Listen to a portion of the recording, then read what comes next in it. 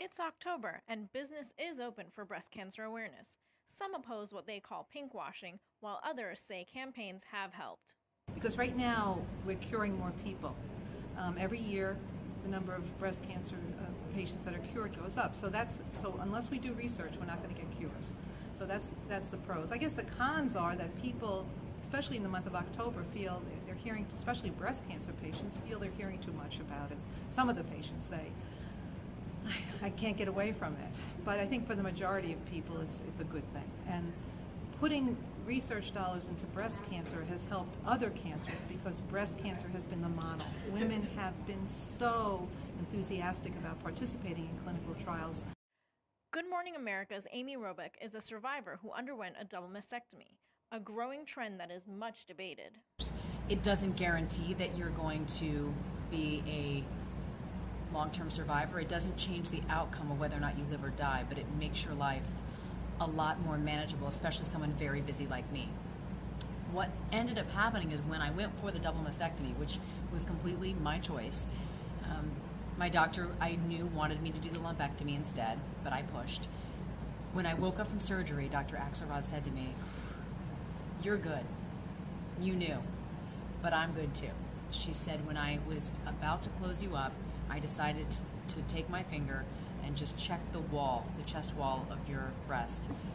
And sure enough, there was another tumor. She thought, no way is it malignant, had it tested, malignant.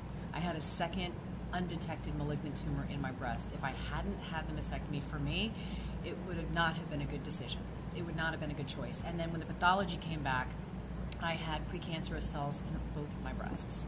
So for me, it ended up being so much the right decision. Um, I would have that would have presented itself ultimately, and I would be walking around thinking I was cancer free, and I would have had a, tumor in me.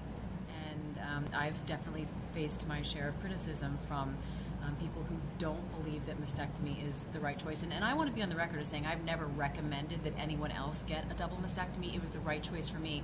What I tell women is do what you think is right, do what feels right to you, do your homework, and then don't let anyone else tell you what you have to do or what you should do. It's your body, it's your cancer it's your Every breast cancer is different. I mean, and everyone's cancer is different. So it's not a one size fits all, which is tough. And I love this concept. And I, I at certain hospitals that I visited over the last year and a half that have um, something that they call a patient navigator, a nurse navigator, and they're solely there to help patients navigate their decisions. And I think that is a brilliant business model because it's a it's a it's there's such a need for that and it's not how long you live it's how you live. And so when i yes as a journalist now when i listen to people i i know what it feels like to be afraid of dying and to feel like death is imminent and to and to feel just scared beyond words. And that helps me do my job